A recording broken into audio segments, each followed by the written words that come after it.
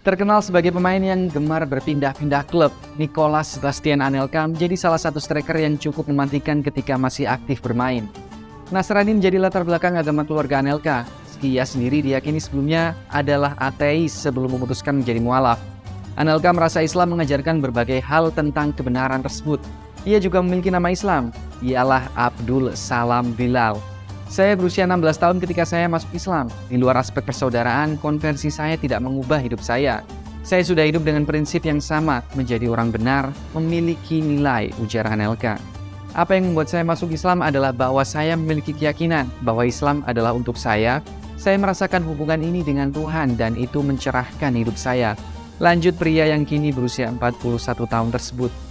Kini sang pemain telah menikmati masa pensiunnya setelah terakhir kali bermain di India bersama Mumbai FC.